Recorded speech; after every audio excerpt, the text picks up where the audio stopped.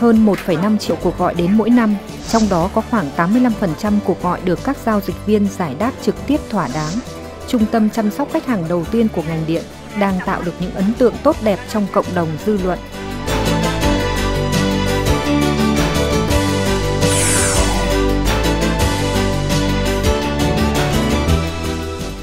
Quy mô khang trang, rộng rãi, hệ thống máy móc trang thiết bị hiện đại. Gần 100 giao dịch viên làm việc 3K trên ngày, sẵn sàng trả lời mọi cuộc gọi đến của khách hàng. Bảng điện tử lớn ở vị trí trung tâm hiển thị tất cả các số máy và tình trạng đang đã hoàn tất hay chờ trả lời của các điện thoại viên. Hình ảnh chuyên nghiệp và hiện đại của trung tâm chăm sóc khách hàng của Tổng công ty Điện lực thành phố Hồ Chí Minh cũng là trung tâm chăm sóc khách hàng đầu tiên của ngành điện, tạo ấn tượng đẹp cho bất kỳ ai có dịp ghé thăm. Tháng 7 năm 2012 đánh dấu một bước ngoặt quan trọng trong lộ trình cải cách dịch vụ khách hàng ngành điện với sự ra đời của trung tâm chăm sóc khách hàng đầu tiên tại Tổng công ty Điện lực thành phố Hồ Chí Minh. Từ đây, tất cả các thắc mắc, yêu cầu, khiếu nại, tố cáo, vân vân khách hàng dùng điện trên địa bàn thành phố Hồ Chí Minh đều có thể gọi đến trung tâm 24 giờ trên 7 ngày liên tục trong tuần và được các nhân viên trả lời trực tiếp tận tình. Dạ, trung tâm chăm sóc khách hàng dân số 22 Tấn Sang xin nghe ạ. Dạ vâng, thì em sẽ tiếp nhận cái thông tin à, mất điện của nhà mình và trong vòng 2 giờ nữa sẽ có nhân viên bên em xuống để à, kiểm tra và khắc phục cái tình trạng mất điện ở nhà mình anh nhé. Kỳ vọng của lãnh đạo ngành điện thành phố Hồ Chí Minh thời điểm đó là khách hàng dùng điện sẽ có một kênh chăm sóc khách hàng tập trung chính thức, đáp ứng yêu cầu nhanh và thuận tiện nhất có thể. Tuy nhiên, sau hơn một năm chính thức đi vào vận hành, những kết quả mà trung tâm chăm sóc khách hàng đầu tiên của ngành điện mang lại đã vượt xa cả mong đợi. Hơn 4.000 cuộc gọi đến trung tâm mỗi ngày, trong đó có khoảng 90% các câu hỏi được giao dịch viên giải đáp trả lời trực tiếp. Mọi thắc mắc yêu cầu được đáp ứng nhanh chóng, thỏa đáng đã tạo sự yên tâm, niềm tin cho khách hàng dùng điện. Đặc biệt, mô hình của trung tâm còn nhận được sự tín nhiệm của chính quyền địa phương, trở thành hình mẫu và nền tảng cho sự ra đời của Trung tâm tiếp nhận thông tin sự cố hạ tầng thành phố Hồ Chí Minh. Đến nay, cơ sở hạ tầng và đội ngũ cán bộ nhân viên của Trung tâm chăm sóc khách hàng vẫn đang tích cực hỗ trợ cho hoạt động của Trung tâm tiếp nhận thông tin sự cố hạ tầng thành phố Hồ Chí Minh rất hiệu quả.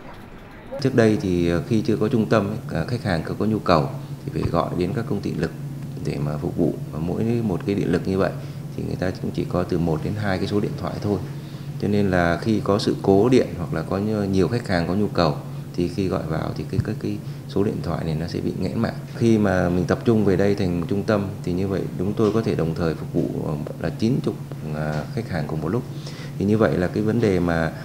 có những cái thông tin chúng tôi có thể chia sẻ ngay ở trên cái hệ thống trả lời tự động còn những cái gì mà khách hàng cần thì có thể là gặp trực tiếp điện thoại viên để được phục vụ gần như là 100% khách hàng khi có nhu cầu gọi vào thì đều được ờ, phục vụ một cách đầy đủ. Để có được thành công bước đầu đầy ấn tượng đó, Tổng công ty Điện lực thành phố Hồ Chí Minh đã đột phá táo bạo từ cách nghĩ đến cách làm và quyết tâm đi tắt đón đầu để nâng cao chất lượng dịch vụ khách hàng đã được lãnh đạo Tổng công ty Điện lực thành phố Hồ Chí Minh cụ thể hóa. Theo ông Phạm Quốc Bảo, Phó Tổng Giám đốc Tổng công ty Điện lực thành phố Hồ Chí Minh, đây cũng là một trong những bước khởi đầu trong lộ trình hiện đại hóa ngành điện nhằm đáp ứng ngày càng cao nhu cầu của khách hàng. Còn đối với mỗi cán bộ nhân viên của trung tâm, dù chỉ mới gắn bó với công việc điện thoại viên hơn một năm nhưng họ đã xác định đây là một nghề với đầy đủ những buồn vui rất đặc thù. Đối với những à, chị em đã có gia đình thì đi K3 thì có vẻ vất vả hơn. Nhưng mà khi mà tập trung trong công việc này thì mình làm việc một cách độc lập, mình có thể chuyển tải các cái thông tin hoặc là mình ờ, đưa các cái kiến thức hiểu biết của mình giải thích cho khách hàng làm hài lòng khách hàng để cho đưa cái dịch vụ này sử dụng tốt hơn. Thành công của trung tâm chăm sóc khách hàng đầu tiên của ngành điện tại thành phố Hồ Chí Minh cũng đã trở thành hình mẫu để Tập đoàn Điện lực Việt Nam quyết định nhân rộng triển khai trong toàn quốc. Đến nay, Trung tâm chăm sóc khách hàng Hà Nội cũng đã được kiện toàn hoạt động hiệu quả. Bên cạnh đó, Trung tâm chăm sóc khách hàng của Công ty Điện lực Bình Dương cũng đã chuẩn bị sẵn sàng để đi vào hoạt động. Với sự hỗ trợ đắc lực của Trung tâm chăm sóc khách hàng Tổng Công ty Điện lực Thành phố Hồ Chí Minh. Tại miền Trung, Trung tâm chăm sóc khách hàng đầu tiên cũng đã được ra đời tại Công ty Điện lực Bình Định đánh dấu sự nỗ lực của các đơn vị ở miền đất còn nhiều khó khăn này. Tất cả vì sự hài lòng cao nhất có thể của khách hàng đối với các dịch vụ ngành điện. Đúng như khẳng định của ông Ngô Anh Việt, Giám đốc Trung tâm chăm sóc khách hàng Tổng công ty Điện lực thành phố Hồ Chí Minh. Chúng tôi cố gắng đem đến cho khách hàng những gì khách hàng cần, chứ không phải chỉ là những gì chúng tôi có. Từ thành công của trung tâm chăm sóc khách hàng đầu tiên, chỉ sau hơn một năm, hiện nay hệ thống các trung tâm chăm sóc khách hàng ngành điện trên khắp các vùng miền cả nước đã và đang từng bước hoàn thiện. Đây thực sự là một bước ngoặt, một dấu ấn lớn trong năm kinh doanh và dịch vụ khách hàng 2013 của Tập đoàn Điện lực Việt Nam.